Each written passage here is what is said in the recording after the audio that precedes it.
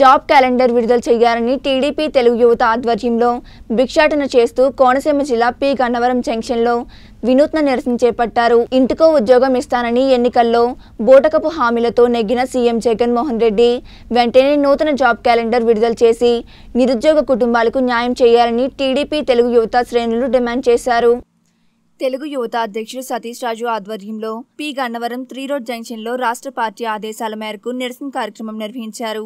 ఈ సందర్భంగా సతీష్ రాజు మాట్లాడుతూ నిరుద్యోగులు ఎంతో ఆశగా వైసీపీ ప్రభుత్వాన్ని నమ్మి గెలిపించారని తీరా ఆచరణలో జాబ్లెస్ క్యాలెండర్తో వారి ఆశలను అడియాసలు చేశారని దుయ్యబట్టారు రాష్ట్రంలో ఖాళీగా ఉన్న రెండు పాయింట్ ముప్పై ఐదు లక్షల ఉద్యోగాల భర్తీకి తక్షణమే నోటిఫికేషన్ జారీ చేయాలని డిమాండ్ చేశారు అనంతరం షాపుల వద్దకు వెళ్ళి జగన్మోహన్ రెడ్డి జాబ్ క్యాలెండర్ మోసాలను ప్రజలకు వివరిస్తూ సతీష్ రాజు నామన రాంబాబు తెలుగు యువత శ్రేణులు భిక్షాటన చేశారు జాబ్ రావాలంటే జాబ్ రావాలంటే జాబ్ రావాలంటే జాబ్ రావాలంటే ఇస్తామని చెప్పి హామీ ఇచ్చి రాష్ట్రంలో మొత్తం ఉన్న యువతలందరినీ కూడా మోసం చేసి ఈ ఏళ్ళ గద్దలకి మూడు సంవత్సరాలు అయింది. ఇప్పుడు దాకా కనీసం ఒక ఒక్క ఎక్కడ జాబ్ కానీ రిలీజ్ చేయకుండా ఏ ఒక్క నిరుద్యోగం కూడా ఒక ఉద్యోగం ఇవ్వలేదు. అందుకని నిరుద్యోగ పరిస్థితి రోడ్డు మీద ఎలా భిక్షాటన చేసే విధంగా పడిందని చెప్పేసి దాని గురించి మిమ్మల్ని రిక్వెస్ట్ చేస్తూ ఆయన ఒక చూడు.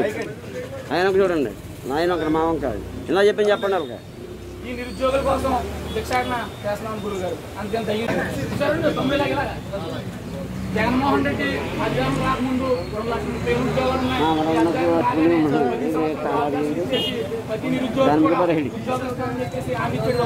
ఇప్పుడు రా కూడా ఎక్కడ కూడా ఒక ఉద్యోగం కూడా ఇవ్వలేదు. అందుకని నిరుద్యోగులు అందరూ కూడా.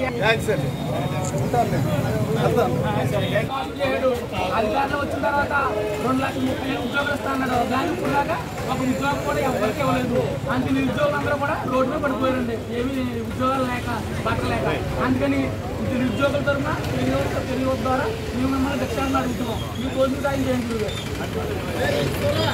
ఈరోజు మన ఈ గన్నవరం నియోజకవర్గంలో మన కోనసీమ జిల్లా తెలుగు తరపున మన జాబ్ క్యాలెండర్ మీద ఈ నిరసన కార్యక్రమం చేయడం చేయడం చేపట్టడం జరిగింది.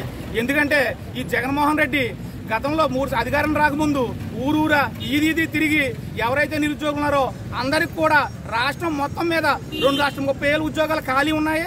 నేను అధికారం రాగానే ప్రతి సంవత్సరం జనవరి నెలలో నేను జాబ్ క్యాలెండర్ రిలీజ్ చేసి సంవత్సరానికి అరవై వేలు చొప్పున రెండు లక్షల ముప్పై వేల ఉద్యోగాలు కూడా నేను భర్తీ చేస్తానని చెప్పి ఆ రోజున మనకు మాయమాటలు చెప్పి ఇవాళ ఈ రోజున గద్దెక్కి మూడు సంవత్సరాలు అయినా కూడా ఇప్పుడు దాకా కూడా ఎక్కడ ఒక జాబ్ క్యాలెండర్ రిలీజ్ చేసి ఎక్కడ ఒక ఉద్యోగం కూడా ఏ నిరుద్యోగి కూడా ఇవ్వలేదు. ఇవాళ నిరుద్యోగులందరినీ కూడా నట్టేట్ను ముంచేసి ఈదుపాలు చేశాడు జగన్మోహన్ రెడ్డి. ఆ రోజు నువ్వు ఇంటింటికి తిరిగినప్పుడు తలను ఉడతా ముద్దులు ఎడతా కూడా మీకు ఎందుకు యువత బాధ్యత నాది నేను మడం తప్పను మాట తప్పను అని చెప్పేసి బొల్లు మాటలు చెప్పుకుంటా నువ్వు ఇది తిరిగి అధికారంలోకి వచ్చావు. ఆ రోజు మా యువతని నువ్వు నమ్మించి నీ ఓట్లేసుకుని నువ్వు గెత్తనెక్కావు నువ్వు. ఈ గతంలో తెలుగుదేశం గవర్నమెంట్లో దగ్గర దగ్గరగా పరోక్షంగా అయితే ప్రత్యక్షంగా అయితే చంద్రబాబు నాయుడు గారు కొన్ని లక్షల ఉద్యోగం ఇవ్వగలిగాడు. ఆయన ఆయన రెండు సార్లు సంవత్సరం సంవత్సరం నువ్వు డిఎస్సీ తీస్తానన్నావు. ఇప్పుడు దాకా మూడు సంవత్సరాలు అవుతుంది రామారామి. ఇప్పుడు దాకా ఒక్కసారి కూడా డిఎస్సీ చేయలేదు. తీయకపోగా మన పాఠాలు చెప్పే ఉపాధ్యాయుల్ని బ్రాంతి కొట్లు కూడా నువ్వు తాకట్టు పెట్టావు. అదే గతంలో తెలుగుదేశం గవర్నమెంట్లో అయితే మూడు సార్లు డిఎస్సీ తీసి కొన్ని వేల మంది ఉపాధ్యాయ పోస్టులు ఇచ్చిన ఘనత చంద్రబాబు నాయుడు తెలుగుదేశం గవర్నమెంట్కి అలాగే గ్రూప్ వన్ గ్రూప్ టూ ఉద్యోగాలు.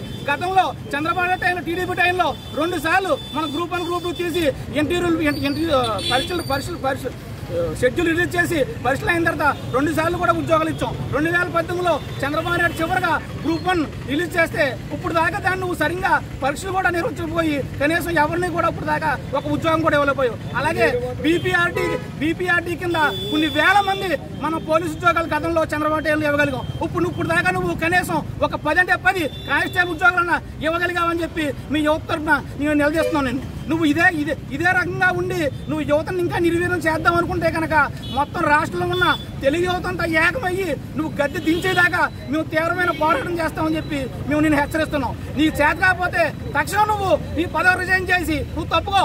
తప్పుకుంటే మీరు నువ్వు రాజ్యాంగం తప్పుకుంటే మా ప్రభుత్వం ఈ చంద్రబాబు నాయుడు గారి ప్రభుత్వంలో వస్తాడు వచ్చిన తర్వాత ఎంతమంది యువతకి ఎన్ని రకాలుగా మీకు ఉద్యోగాలు మీకు తెలుసుకోండి. మీరు మరి మళ్ళీ మరి మరీ మరీ చెప్తాం ఇంకోసారి. నువ్వు కానీ తక్షణం జాబ్ రిలీజ్ చేయకపోతే కనుక తీవ్రమైన తెలుగు ఉత్తరం తీవ్రమైన పోరాటం చేస్తామని చెప్పి నిన్ను హెచ్చరిస్తూ ఈ నేను తెలుగు ఉత్తరం డిమాండ్ చేస్తున్నాం.